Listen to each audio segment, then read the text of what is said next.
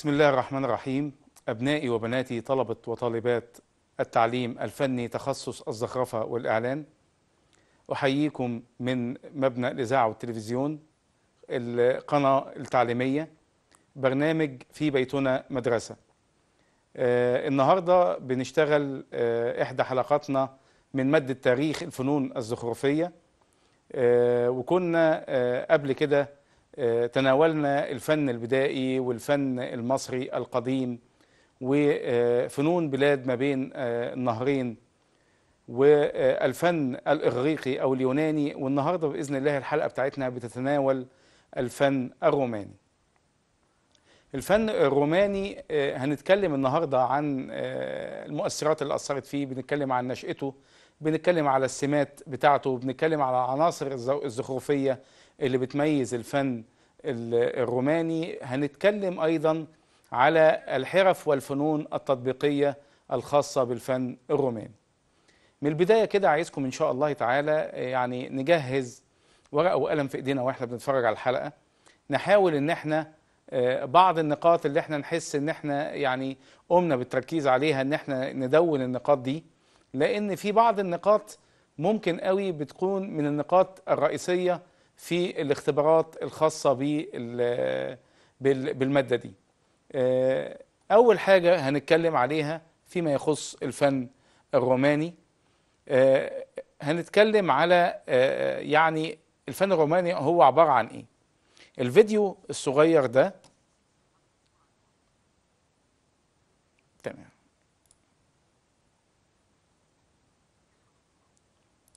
الفيديو ده بيعبر على الفن المصري الفن الروماني بيتكلم على العمارة في الفن الروماني.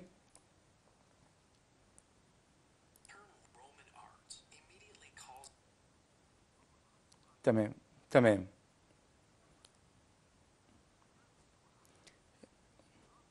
في في عندي آه في عندي آه اللي هي الأدوات الخاصة بالنحت الروماني آه اللوحات الجدارية العملات الرومانية التصوير في الفن الروماني كل ده آه بيتناوله المادة بتاعتنا النهارده. برضه هنتكلم النهارده عن بومبي وهنتكلم على اللي هي التصاوير الخاصة بالفن الروماني والجداريات والنحت البارز الخاص بالفن الروماني. لو جينا نتكلم عن نشأة الفن الروماني بيرجع تاريخ العصر الروماني لسنة 753 قبل الميلاد. بدأ الجماعة جماعات الرومانية بدأت من عشائر تسمى, عشائر الإتروبين. دي كانت بتسكن ما بين نهر نهرين الأرنو والتيبر عند الساحل الغربي لإيطاليا. بدأوا يوصلوا لذروة مجدهم إن هم بدأوا يتجمعوا مع بعض قبائل وعشائر صغيرة بدأت تكون قبائل كبيرة. وكان الإتوريين دول بيبنوا بحجارة عظيمة الحجم بدقة متناهية والأطلال بتاعتهم والمعابد بتاعتهم ما زالت باقية حتى الآن. كانوا بينحتوا الصخر إما إن هم يقطعوا منه تماثيل كبيرة أو يقطعوا منه يعني كهوف كبيرة ويزخرفوا الجدران بتاعتها والسقوف بتاعتها بنقوش محفورة في الصخر وما زالت موجودة حتى الآن. دي أحد الآثار الخاصة بالجماعة الأترويين ودول ده عبارة عن مدفن لأحد الملوك بتاعتهم وبنرى فيه مظاهر النقوش والرسوم والزخرفة اللي موجودة في الجدران وموجودة في السقوف اللي بيستخدم فيها كافة العناصر اللي استخدمها بعده أحفادهم من الرومان. طب إيه هي العوامل المؤثرة في الفن الروماني؟ العوامل المؤثرة في الفن الروماني أول حاجة عندي المؤثرات التاريخية. الفن الروماني يعني عدد كبير بيعرف إن الفن الروماني هو امتداد واستمرار طبيعي للفن الإغريقي. أغلب مؤرخي الفنون بيعتبروا إن الحضارة الإغريقية والرومانية حضارة متصلة الحلقات. آه، حتى في بعض اللي هم ال- المؤرخين آه، سموه بالفن ال Greco آه، ال Greco Roman يعني اللي هو Greco Roman يعني فن يوناني روماني. طب ده ليه؟ الرومان آه، كانت قبائل يعني بت بتقوم على الاستعمار للدول اللي حواليها وعلى الحروب. فكانت في البداية مش مهتمين بالفن قوي. فكان أقرب حضارة ليهم قدروا إن هم ياخدوا منها المظاهر بتاعة الفن بتاعتهم كانت الحضارة الإغريقية. ولذلك آه، فترة طويلة قبل ما الرقعة الرومانية تتسع كان الفن الروماني يعتبر هو مراية تانية للفن الإغريقي. ولكن مع طول فترة الزمن الخاص بالفن الروماني وطول آه، آه، آه، واتساع الرقعة بتاعته وإن هو احتلوا أكتر من مكان في العالم القديم بدأ إن هم يتأثروا بالحضارات اللي هم كانوا بيحتلوها. آه، نرجع تاني نبص على ال- الشاشة عندي.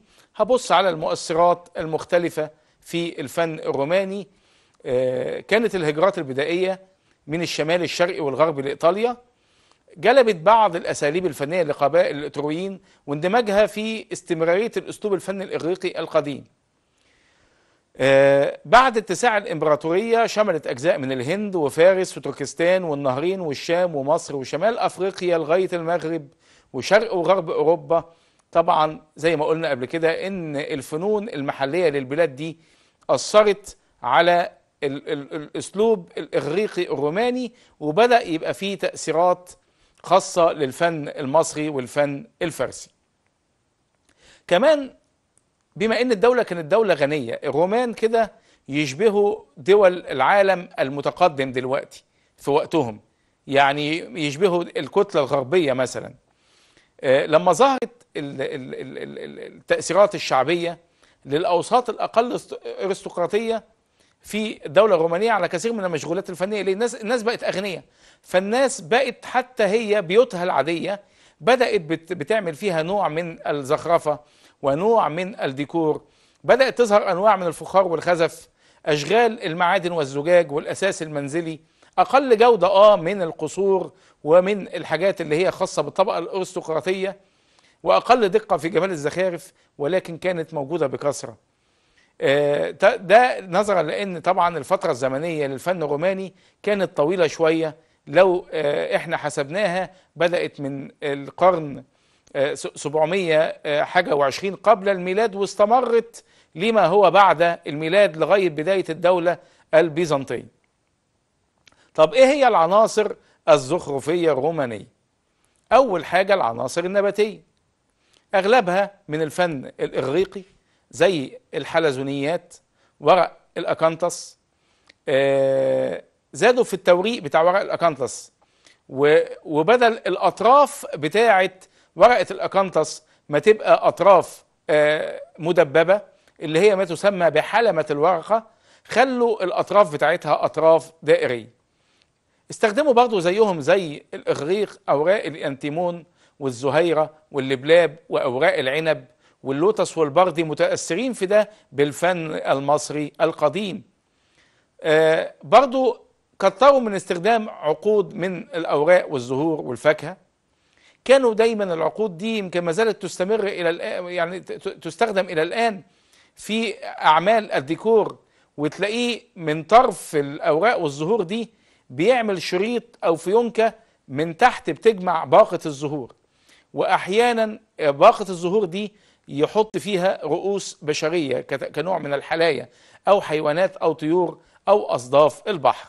يعني لو بصينا هنا هنشوف قدامنا ورقة ال ال ال ال الأكانتس في آه، منحنيات رائعة زي ما إحنا شايفين بتحيط بزهيرة الأكانتس أو بوردة الأكانتس اللي هي موجودة برضو على الجانبين زي ما إحنا شايفين. هتلاقي آه، الأكانتس الروماني موجود. طبعا دي دايما بتيجي كلوحة مقارنات ممكن تجي لك يقول لك إيه؟ قارن بين الأكنتس الروماني والإغريقي والبيزنطي وكنا يعني قلنا يعني أظهرنا الرسمة دي في حلقة سابقة وبإذن الله في المراجعات لو أتيحت لنا الفرصة هبقى أجيب معايا اللوحات دي. ده العناصر النباتية الرومانية اللي هي في عناصر منها محفورة على الرخام وعناصر أخرى بتبقى مرسومة في الزخارف الرومانية. طبعا دي زهرة الأنتيمون الروماني وهنلاحظ فيها الفخامة بتختلف شوية وتحس فيها بالعظمة شوية عن زهرة الأنتيمون المصرية القديمة وزهرة الأنتيمون اليونانية أو الجريجية أو الإغريقية. نيجي للعناصر الحيوانية. استخدموا بكثرة رؤوس الحيوانات والنساء والأطفال اللي جسمهم من تحت عبارة عن حلزونيات نباتية. وكان الحلزونيات دي بيكون من أهمها الأكانتس والزهيرات. استخدموها برضو في الزخارف المعمارية بصورة كاملة أو صورة نصفية. إحنا عندنا هنا لما بنمشي في مصر في وسط البلد بنمشي في العمارات اللي هي اللي هي ما تسمى بالقاهرة الخديوية. هنلاحظ دايما إن في بلكونات بتبقى تحتيها يعني أجسام بشرية أو نصف بشرية أو نصف حيوانية رفع البلكونة. يعني أغلب النوع ده من الفن المعماري إحنا أخذناه من يا إما الفن الإغريقي أو الفن الروماني بصفة خاصة لأن هو اللي كان بيستخدم الجماليات بطريقة أكثر انتشارا وأكثر اتساعا من الفنون الأخرى في العمارة بتاعته. طيب لو جينا نبص هنا في العناصر الحيوانية هتلاحظ أو الحية هتلاحظ أهو الإنسان أو ما يعبر عن أنه هو ملاك وله جناحات والأطراف السفلية غير متكاملة وعبارة عن حلزونيات في الشكل وهتلاقي في حيوانات خرافية. هتفكرنا بالحلقة بتاعة الفن الإغريقي الكائنات اللي هي برضو الفن الإغريقي كان يعني مستلهمها من الفن المصري القديم. هتلاحظ اللي هو الكائنات اللي زي أبو الهول الأسد اللي هو ليه جناحات وليه راس كبش أو ليه راس يعني أحد الحيوانات الأخرى يعني. نيجي نروح للعناصر الهندسية. ازدادت عندهم أشكال السلاسل والصلبان المعقوفة والمتاهات المعقدة. لو جينا بس نتكلم على الصلبان المعقوفة بالذات هنلاقي إن الصلبان المعقوفة دي ارتبطت باللي هم الجماعة الألمان في الفترة اللي كان بيحكمهم فيها هتلر. ليه هتلر خد الصليب المعقوف اللي هو كان أحد العناصر الخاصة بالفن الروماني؟ لأن هو كان بيشعر إن هو يعني هم الجنس المختار هم الناس اللي هم أرقى من الكائنات الأخرى فكان بالنسبة له الرومان أو الدولة الرومانية هي الدولة اللي هي اللي تعتبر مثل أعلى للإمبراطورية الالمانيه. استخدموا أيضا الدوائر والحلزونات وأشكال التطعيم وتلبيس الأحجار الملونة في أرضيات القصور واسافل جدرانها اللي هو كان حاجة كده تشبه الفسيفساء بس على حاجة أكبر شوية.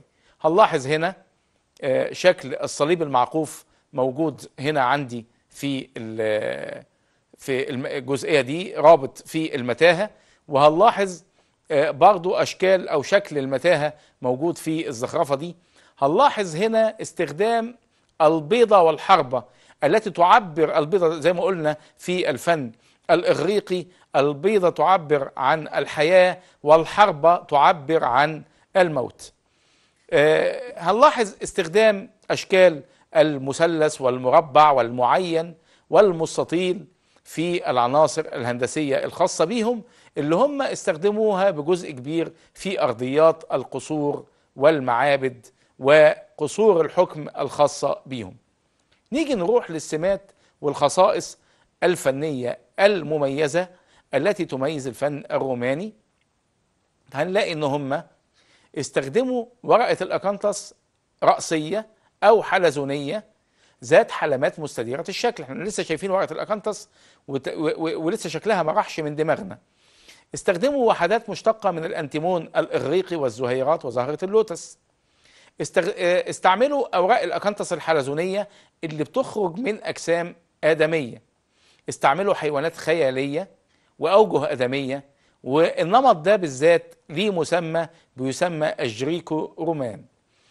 استعمال زخارف من الهيكل العظمي لرؤوس الثيران وده بيثبت فكرة ولعهم مش بمصارعة الثيران بس زي ما موجود في الشريحة هم برضو كانوا قوم دمويين شوية. المصارعة عندهم كان في عندهم مصارعة الثيران كان في عندهم مصارعة الآدميين ودي شفناها في الأفلام بتاعتهم اللي هي المصارعة حتى الموت. هن هؤلاء ال ال ال الناس كانوا بيمثلوا أو يمثلوا في العالم الرعب الكبير لأن هم كانوا يعني عمالين يوسعوا في الرقعة بتاعتهم. ولكن لما كانوا بيحتلوا شعب من الشعوب ما كانوش بيعاملوه. المعاملة اللي تخلي الشعب ده يحرص على إن الناس دي يبقوا متواجدين يعني أو إنه يتقبل ثقافتهم.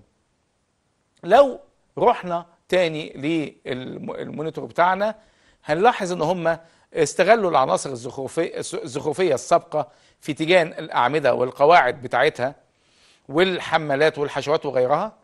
استغلوا التماثيل المنحوتة في مجموعات تزين بها كرانيش وطنوق المعابد واستخدموا التماثيل ذات القواعد المزخرفة. استعملوا أشكال الملائكة كأطفال مجنحة في الزخارف بتاعتهم. استغلوا بعض الوحدات الزخرفية السابقة في زخرفة الأساس المنزلي. وكتروا من نحت التماثيل لمشاهير الرومان وقوادهم والنصب التذكارية والمسوخ وآلهة الحب وحوريات البحار ومختلف الأساطير. نيجي نبص هنا للزخارف بتاعتهم اللي كانوا بيعم- بي- بيعملوها على الرخام ومدى تواجد زهرة الأكانتس وزهرة الرو- الروزيتا والأنتيميون في الزخرفة بتاعتهم. آه، لما نيجي بقى نتكلم على الألوان الرومانية.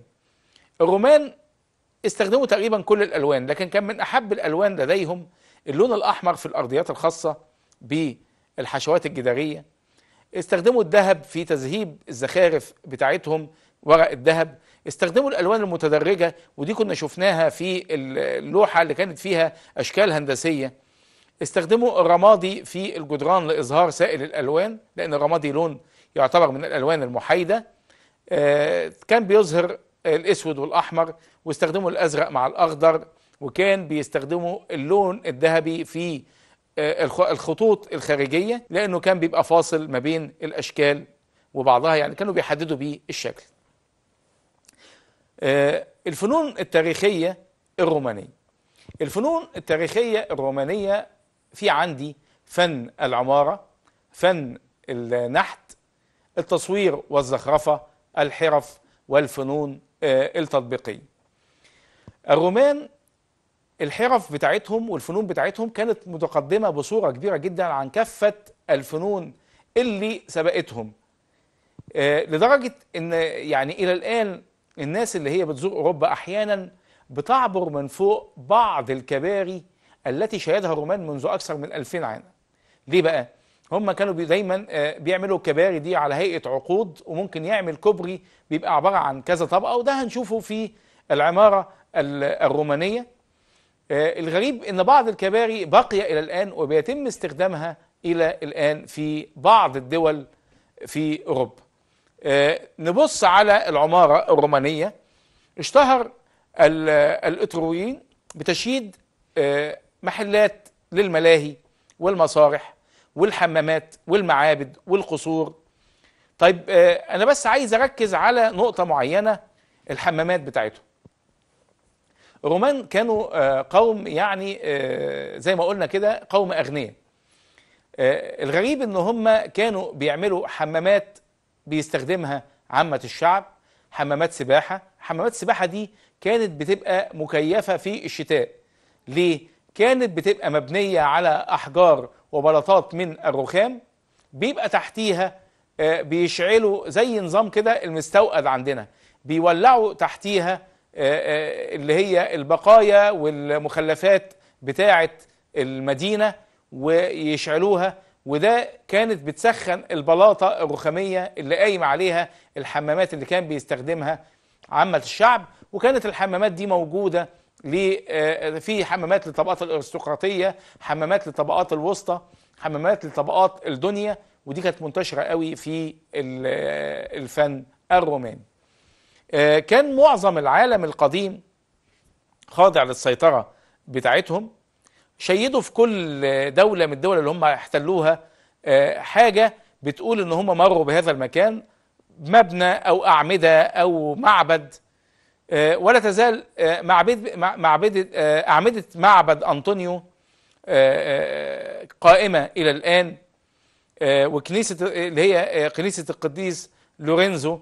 وكنيسة القديس ماريا القديسة ماريا دي كانت معابد رومانية في الأول لو. لو بصينا على الطرز بتاعتنا ده طراز اللي هو الملعب أو المسرح أو حلبة المصارعة الرومانية كان بيستخدم لأكثر من حاجة المعبد الروماني أو معابد رومانية كانت تشبه تلاحظوا إن في شبه كبير قوي ما بينها وما بين المعابد الإغريقية لكن ميزهم الطراز ده اللي هو طراز المبنى اللي هو البازيليكا اللي هو مبنى دائري كان بيستخدم في الراوتن أقصد بيستخدم في أمور الحكم وليه مدخل عبارة عن يعني معبد مدخل المعابد الرومانية أو مدخل معبد إغريقي. عبارة عن جملون وتحيط به الأعمدة سواء كانت أعمدة من الطرز الإغريقية أو الطرازين اللي دخلوا على طرز الأعمدة وهنشوفهم دلوقتي. من ضمن الأبنية بتاعتهم البازيليكا كانت بتستخدم كدور للقصور أو القضاء أو البورصة أو التجارة. وفي كذا بازيليكا منهم أشهرهم بازيليكا بورشيا وبازيليكا إيميليا بمدينة فوليفيا. ودي أنشئت سنة 179 قبل الميلاد. طبعا علاوة على بناء الحمامات والكباري والنصب التذكارية ومقابر الأبطال وأقواس النصر اللي كان اللي ما زالت موجودة في الكثير من ميادين أوروبا إلى الآن. ده هنا بيمثل مدخل بازيليكا. طبعا اللي هو المسرح أو حلبة المصارعة الرومانية. قوس النصر.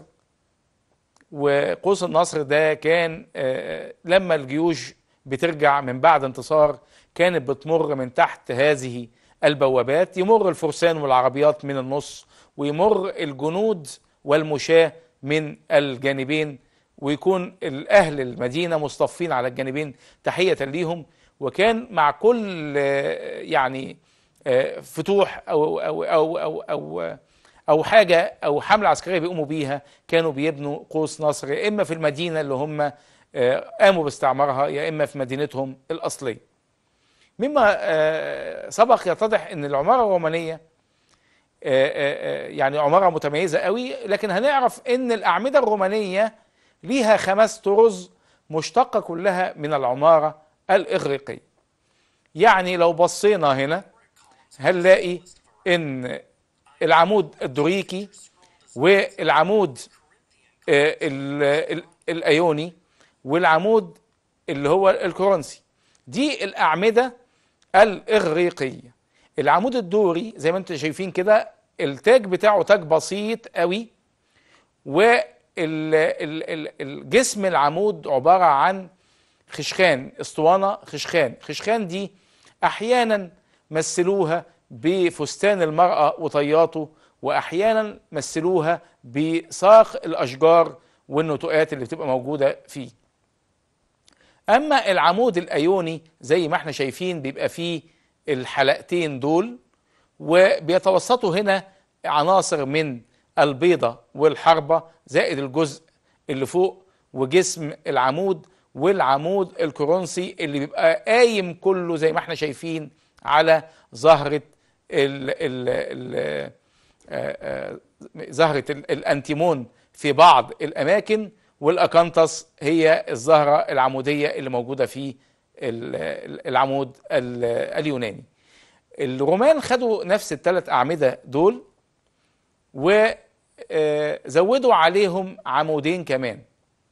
زودوا العمود اللي هو العمود الدوري طبعا أهو ده اللي اتكلمنا عليه والعمود التسكاني والعمود التسكاني كان زي العمود الدوري الإغريقي ولكن الجسم بتاعه أو بدن العمود بدن ناعم. يعني ما فيهوش الخشخان أو الطيات اللي إحنا كنا بنتكلم عليها. وكمان زودوا العمود المركب اللي هو ال composite اللي هو ابتدع الرومان وهو خليط من العمود الكورنثي والعمود الأيوني. ولو حبينا نرجع ليه هنلاقي إن هو ده اللي هو العمود اللي هو المركب أو الكامبوزيت بتاع الرومان اللي هو زودوه على العمود الأعمدة الإغريقية. وهل لو رحنا هناك على الشمال هنلاقي العمود الثاني اللي هو يعني برضو ابتدعوه أو خدوه من العمود الدوري. طيب لو رحنا برضو دي أشكال الأعمدة تمام؟ وهنا دي مقارنة ما بين العمود الإغريقي والعمود الروماني. هنا برضو دي مقارنة ما بين عمود أيوني إغريقي وعمود أيوني روماني. وهنا مقارنة ما بين العمود الكورنثي والعمود المركب الروماني. نيجي بقى للنحت الروماني. النحت الروماني تقريبا كان هو هو نفس التقاليد الخاصة بالنحت الإغريقي. لكن هم زودوا في التفاصيل. أنا عايز أقول حاجة إن فنانين العصر الروماني في بدايته كانوا كلهم فنانين إغريقي. زودوا في تفاصيل تصفيفات الشعر طيات الملابس حاولوا إن هم يظهروا مظاهر الثراء والغنى والطرف والعظمة. وكتير قوي كانت بين كانوا بينحتوا التماثيل لمجرد تزيين القصور بتاعتهم آه وزي كانوا بينحتوا تماثيل للآلهة اللي هم بيعبدوها لأبطال الأساطير القواد البارزين والقياصرة آه والملاحم الحربية الأسطورية. ودخل النحت في تصميمات كتيرة من التصميمات المعمارية آه وأحيانا كانت تمثل سيدات على هيئة أعمدة واقفة بتحمل على رؤوسها عقود أو أشكال عقدية آه للمباني. وأكتاف وكوابيل منحوطة على أشكال أجسام بشرية بتحمل السقوف وأحيانا بيكون النص العلوي منها إنساني وبينتهي بتفريعات نباتية. لو هنا بصينا لنمطين مهمين من أنماط النحت الروماني وده تمثال بيمثل القيصر أغسطس هنلاحظ مظاهر الفخامة البادية على شكل وجسد القائد أغسطس. وهنلاحظ أيضا حاجة تانية في التمثال اللي هو البورتريه ده انتشر قوي في الفن الروماني إن هم كانوا بدل ما إحنا كده بنتصور صورة بورتريه ونعلقها عندنا هم كان البورتريه بتاعهم عبارة عن قطعة نحتية بتتحط على قاعدة وكانوا بيزينوا بيها القصور والبيوت والأماكن الحكومية عندهم. لو بصينا للفيديو ده ده بيعبر عن آآ آآ يعني برضو النحت الروماني وإزاي إن هم وصلوا لمهارة شديدة جدا سواء في النحت على الخشب أو النحت على الحجر أو أو النحت على الرخام وده يعتبر مشهد لقبر. ده يعني تمثال بورتريه لأحد القياصرة الرومان. هنا بيعمل مقارنة ما بين النحت الروماني والعظمة بتاعته والنحت الإغريقي. وإزاي إن الرومان خدوا الأساليب الفنية بتاعتهم في النحت من النحت الإغريقي. كل دي عبارة عن منحوتات إغريقية. هو الفيديو ده بيوضح لي إن إيه مدى التشابه ما بين النحت الروماني والنحت الإغريقي اللي هو تم التعبير عنه بزيادة بقى التفاصيل زي ما إحنا شايفين وزيادة الدقة وزيادة ال- ال- اللي هي يعني مثلا ده, ده تمثال لأحد الفلاسفة وزيادة الدقة في ال- ال- ال- الشعر إظهار الشعر وظهور النمط الخاص بالبورتريه للقياصرة وللقادة وللأبطال العسكريين. لو جينا بقى نتكلم على فن التصوير والزخرفة الروماني الفنان الروماني كان بيصور مناظر مختلفة بتصور حياته اليومية أو الأساطير أو الأحداث التاريخية أو أشهر المعارك الحربية الخاصة به نفذوها بأساليب ووسائل فنية مختلفة آه، سواء في آه، على الأحجار أو الرخام الملون آه، اللي هو المعروف بأشغال الموزايك أو الفسيفساء ورسموا بطريقة الإفريسك أو التمبرا أو الإستاكو والإستاكو اللي هي العجائن الملونة وعرفوا أسلوب جديد رسموا آه، الوجوه آه، آه، بالشمع الممزوج بالألوان في لوحات خشبية صغيرة ودي كانت بداية يعني اللي هو التصوير الزيتي يعني ده هو ده التصوير بالشمع الممزوج بالألوان هو جد التصوير الزيتي. العظمة كانت ظاهره قوي في الزخارف الرومانية بتاعتهم اللي ظهرت طبعا في المباني آه، والعمارة والمرافق العامة عندهم. آه، هنلاحظ هنا ال- ال- ال- اللي هي ال- التصاوير اللي موجودة دي أو آه، ال- ال- ال- المشاهد المصورة اللي كانت بتبقى موجودة في الأماكن بتاعتهم العامة أو في الحمامات أو في القصور بتاعتهم. هنلاحظ بقى إن هم يعني آه، في العصر الروماني موضوع بقى اللي هو إحنا بنسميه عندنا تسييح اللون وبدأ يرسم بتدريجات الألوان والظل والنور باللون وهنا يعتبر يعني بدأ ال- اللي هو الفن الكلاسيكي في الرسوم. هنلاحظ آه، هنا دي آه، صور بتمثل استخدام الرومان بكثرة لأشغال الفسيفساء سواء كان بيزين بيها آه، جدران القصور والأماكن والمباني بتاعته أو حاجة زي كده بيزين بيها الأرضيات في برضو ال- ال- العمارة بتاعته. لو رحنا بقى للحرف والف- والفنون التطبيقية الرومانية. أول حاجة هنتكلم عليها الخزف الروماني. آه، فيما لو هنتكلم على الخزف الروماني الخزف الروماني هم ما كانش عندهم خزف خاص بيهم. إحنا قلنا الرومان عالم في البداية ما كانش ليهم حضارة فنية. هم كان ليهم حضارة إيه؟ عسكرية. لكن كانوا كل ما بيروحوا مكان بيستلهموا من الحضارات دي ومن العناصر الخاصة بيها بيستلهموا الفنون بتاعتهم. فكان ال- ال- ال- الخزف الروماني كان هو تكرار وإعادة نمذجة للخزف الإغريقي. يعني هم عادوا من جديد الخزف الإيه؟ الإغريقي.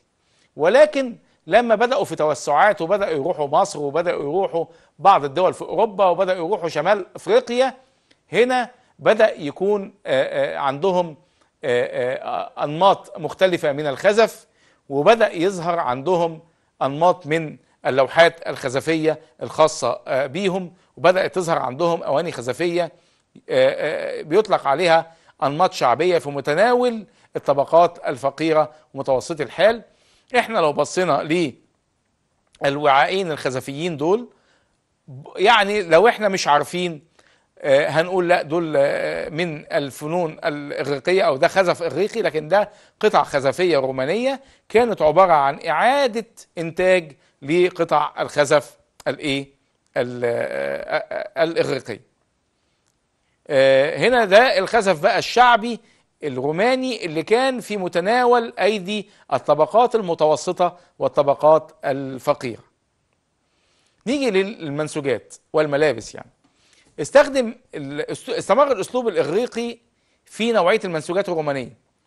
يعني كانوا بيلبسوا نفس ال- ال- ال- الأنماط اللي كانوا بيلبسوها الإغريق في البداية. كانوا متأثرين بيهم. ولكن مع الانفتاح بدأ ياخدوا من مصر وبدأ ياخدوا من الهند وبدأوا ياخدوا من الفرس وبدأت تظهر عندهم آه، آه، نوعية ملابس أو موديلات أو آه، يعني يعني فن في النسيج والملابس خاص بيهم. ودي بعض المشاهد وبعض الصور اللي كانت بتعبر عن الملابس الرومانية. هنلاحظ فيها كثرة استخدام القماش بكثرة واستخدام الطيات اللي هي إحنا بنسميه يعني الجماعة بتوع الملابس يفهموا اللغة دي بنسميه البليسيهات في الملابس عندهم. كمان دي الملابس الخاصة بالأغنياء والخاصة بالفنانين والخاصة بالحكمة بتوعهم والقادة السياسيين والعسكريين. لكن آآ آآ هنلاحظ كمان إن كان عندهم فن خاص بالملابس الحربية. لو بصينا هنا هنلاحظ برضو إن هو ما فرقش كتير قوي عن الملابس الحربية اللي هي الإغريقية اللي هي كانوا بيعملوا عبارة عن دروع من الجلد وتحتيها بتبقى فيه حراشيف معدنية عشان تتحمل ضربات السيوف عليها أو اختراقات السهام. وكان ليهم لبس مميز جدا والرومان في الملابس الحربية. ظهرت عندهم برضو أنماط جديدة من الكؤوس والأكواب والأباريق. زادت الدقة والمهارة في تنفيذ الزخارف الزجاجية. كان في منها الشفاف كان في منها الملون كان في منها المصنفر واستنبطوا وسائل متنوعة في زخرفة الأواني الزجاجية. يعني لو بصينا هنلاقي دي آنية زجاجية تاريخية من الزجاج الأخضر اللي كانوا بيحطوا فيها المشروبات والعصائر بتاعتهم. ودي آنية أخرى برضو كانت بتستخدم لوضع الزيوت العطرية لو جينا بقى للصناعات المعدنية والصياغة مجوهرات لقوا نماذج فنية جميلة من أطقم الموائد الفضية وتماثيل صغيرة من النحاس والبرونز بديعة النقش تمثل الآلهة الخاصة بيهم والمصارعين والجياد أو الخيول والفرسان. آه كمان أواني وكؤوس وأكواب شراب وقناديل مخرمة. ده بالإضافة للصك العملات آه وأشكال من أشغال الذهب والصياغة اللي هي معمولة بالسحب والجدل وأشكال من الأساور والحلقان اللي هي الأقراط. والقلائد التي بترتدى في الرقبة وتيجان الرأس. لو جينا هنا هنبص نلاقي دي قلادة من القلائد. هنلاحظ مدى الدقة في الفن والتكرار في الوحدات واللي هي اللي ما يسمى بالمعلقات اللي بتتدلى من هذا من هذه القلادة. هنلاحظ هنا ده شكل من أحد أشكال الأقراط الذهبية اللي مختلطة أو مكف يعني مطعمة بالأحجار الكريمة سواء كان عقيق أو يعني أحد الأحجار اللي هي الزمرد. العملات وصك العملة. الرومانية كان كل قيصر بيجي لابد أن يتم صك عملة ذهبية جديدة خاصة باسمه. ده وعاء من الفضة. وعاء معدني من الفضة. ده وعاء مسبوك من الأوعية الرومانية المعدنية. برضو في الصناعات الخشبية لا الموضوع توسع عندهم قوي في الصناعات الخشبية. الرومان جلبوا أخشاب من الهند ومن الغابات الأوروبية. عملوا منها قطع أساس اللي تميزت بكثرة المنحنيات. وعلى فكرة الأساس الروماني بتلاقيه دلوقتي قوي بيبقى ظاهر في الأساس الكلاسيكي. يعني لو أنت رحت مثلا معرض من معارض الأساس ولقيت إن في اللي هو الشغل الإيطالي في الأساس ده بيبقى مازال محافظ على نمط الأساس الروماني. نروح بقى لجزء تاني امتداد للفن الروماني وهو فن بومبي بومبي يمكن مدينة عدد كبير فينا يعني يعرف تاريخها. بومبي دي كانت مدينة رومانية بتقع تحت جبل بركاني يسمى جبل فيزوف. بومبي مدينة تعرضت لكارثة كبيرة. آه، بومبي صار بركان فيزوف وأطلق من باطن الأرض ملايين الأطنان من الحمم البركانية ومن التراب البركاني اللي دفن المدينة دي بكل سكانها بكل حيواناتها لعقود من الزمن. بومبي في الأصل ما كانتش داخل الإمبراطورية الرومانية ولكن كانت دويلة مستقلة. الرومان احتلوها وسيطروا عليها ولكن ادوها حكم يعني إيه؟ يعني حكم إحنا بنسميه يعني حكم مستقل سابوا اللي هو الأمير بتاعها والملك بتاعها أو الأسرة الملكه تحكمها ولكن بومبي تقدروا تقولوا إنها كانت دولة من اللي هي الدول اللي كانت السياحة فيها قائمة كدولة يعني كانت دويلة سياحية كانت قائمة على كل أنواع الرذائل اللي ممكن نتخيلها. ويقال إن هي حصل لها نوع من يعني يعني من الغضب الإلهي لما كان فيها من ظلم ومن يعني يعني حاجات كتيرة بتتعمل ده اللي تسبب في إنها يحصل لها ده. لو جينا بصينا على أطلال بومبي طبعا بعد يعني مئات السنين قدروا إن هم يرفعوا بعض اللي هو الغبار البركاني والحمم البركانية وبدأت تنكشف لينا أطلال مدينة بومبي دي كل ده كان تحت الرماد بتاع البركان. طب إيه هي العوامل المؤثرة في الفن بومبي طبعا هم كانوا قريبين برضو من الإغريق وتأثروا بالفنون الإغريقية. الحفريات بتاعتهم ظهرت عندنا دي ده مشهد من مدينة بومبي بيمثل طبعا كشفوا موجود في إيطاليا إلى الآن كشفوا عن الناس. دي دي الأجساد دي ما كان يعني ما كانتش أجساد. هو طبعا لما غطتهم الحمم البركانية حصل تبخير والأجساد دي فضيت من الداخل واتثابت كده الآثار بتاعتها. اللي بيروح في منطقة بومبي أو فيزوف بيشوف لو دخل المنطقة دي بيشوف ده. دي لوحة مشهورة لأحد الفنانين المشاهير اللي هي بتعبر عن اللي هو يوم نهاية بومبي مش هنتكلم على العوامل التاريخية بقى قوي والمسارح والحمامات وتاريخ بومبي العسكري مع الرومان لكن إحنا عايزين نخش على العناصر الزخرفية بتاعتهم. هم اتأثروا بالزخارف الإغريقية وتأثروا بالزخارف الرومانية ولكن كانت ليهم سمات خاصة بيهم ميزت فن بومبي عن الفن الروماني. الطراز الأول كان تاثره بالأصل الإغريقي. المؤلف بالزخارف التقليدية والألوان البسيطة الإغريقية على ألوان على أرضية فاتحة أو بأرضية داكنه الطراز الثاني كان.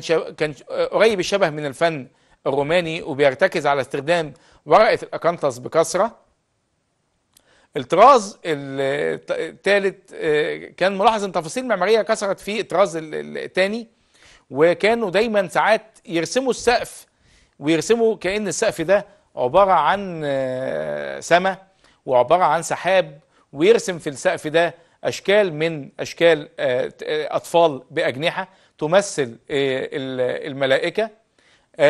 نيجي بقى نتكلم على الألوان اللي هي استخدموها في بومبي. أكثر التنسيقات اللي استخدموها فيها استخدموا فيها اللون الأسود وفي الأعمدة اللي هي جسم لون الجسم العمود بيبقى لونه أحمر. استخدموا الحشوات باللون الأصفر أو الأبيض أو الأزرق.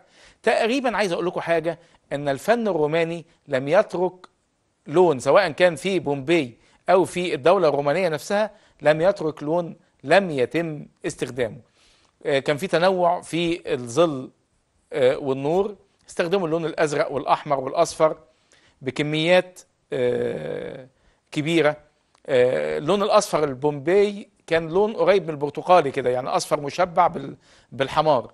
واللون الأزرق المشبع. نيجي نتكلم على الفنون التاريخية البومبي فن العمارة النحت التصوير والزخرفة والحرف التطبيقية. العمارة كشفت الحفريات عن مباني مشاهدة من طابق واحد. يعني ما كانوش بيبنوا مباني عالية. آه، منازل والقصور عندهم برضو كانت من طابق واحد لكن كان عندهم مسارح وحمامات رومانية بالإضافة للمستعمرات والحظائر العسكرية. ده مشهد بيمثل آه، مدينة آه، بومبي بعد ما كشفوا عنها الحفائر كشفوا عن بعض المباني بتاعتها. مبنية من بيوت من دور واحد ولكن البيوت اللي من دور واحد دي مبنية برضو فوق طبقات جبلية. فيعني طريق صاعد فيبان إنها أكتر من إيه؟ من طبقة ولكن ده بيبقى خداع في الصورة. المباني كلها كانت مباني من دور واحد. برضو ده مشهد آه، لمباني بومبي. الغريب إن بعض المباني تم معالجة بعضها واستخدامه أو استخدموه اللي هم السكان المحليين تاني. آه، زي ما إحنا شايفين. النحت طبعا هو آه، استخدموا قوي أسلوب الإستاكو أو العجائن البارزه اللي كانت بيزخرفوا بيها الحشوات الأسطورية المحيطة بإطارات زخرفية وحلزون نباتي وأكانتس وتف... ومليء بالتفاصيل. آه، آه، الزخرفة الواردة آه، في فنون بومبي تأثرت بالشخصية الإغريقية قوي. وعبارة عن كنارات وحشوات وبنوهات تمثل يعني الشخصيات اللي هي الرقيقة في تفاصيل رقيقة وفيها نوع من النحافة بالمقارنة بالنموذج الاغريقي.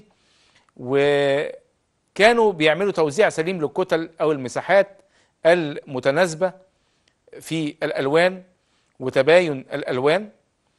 آه، لو رحنا لتصوير النقوش الجدارية لبومبي تفوقت عن النقوش الإغريقية وتفوقت على النقوش الرومانية ومرت بعدة أطوار.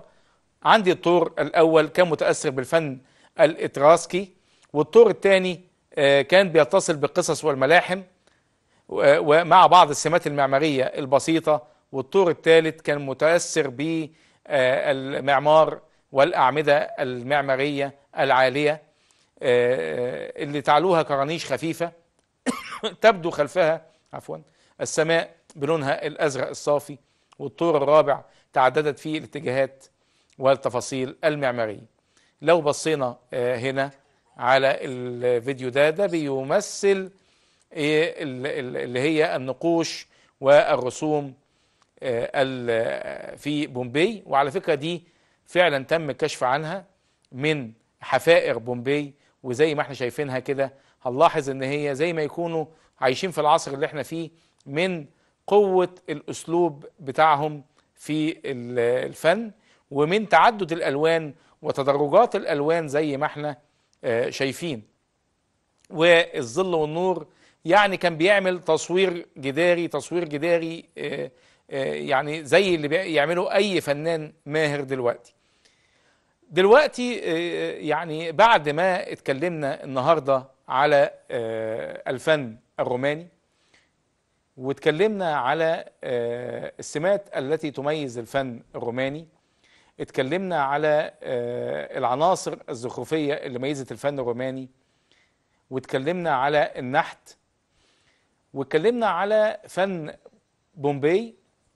طيب آه، نقدر إن إحنا آه، نكون خدنا فكرة كبيرة قوي عن مدى التشابه ما بين فن بومبي والفن الروماني والفن الإغريقي ومدى تأثرهم بالفن المصري القديم. بإذن الله تعالى آه، إن شاء الله آه، الحلقة آه، انتهت. وبإذن الله تعالى الحلقة القادمة هنتكلم فيها على الفن البيزنطي والفن القبطي القديم. وإلى لقاء آخر إن شاء الله. السلام عليكم ورحمة الله.